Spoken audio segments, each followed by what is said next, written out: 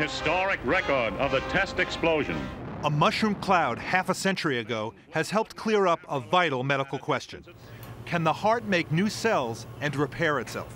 This is one of those important studies that is going to change the way that we think for a very long time. Scientists solve the mystery by going back in time. Until it was banned in 1963, nuclear weapons testing above ground produced slightly radioactive carbon dioxide gas all over the planet. It entered the food chain. So if you were alive then, the radioactive material ended up in your DNA.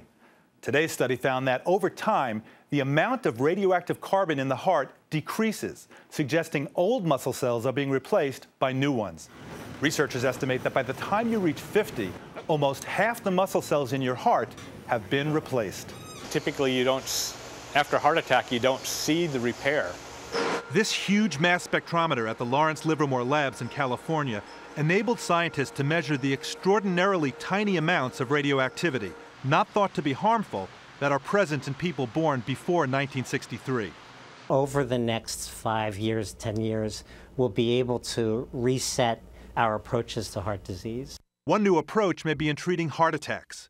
When its blood supply is cut off, heart muscle dies, and the scarred segment no longer beats normally. If the heart can make new cells on its own, there may be ways to accelerate that process and speed up healing. It was the first man-made explosion of atomic energy. From the era of the mushroom cloud, an unexpected silver lining. Dr. Jon LaPook, CBS News, New York.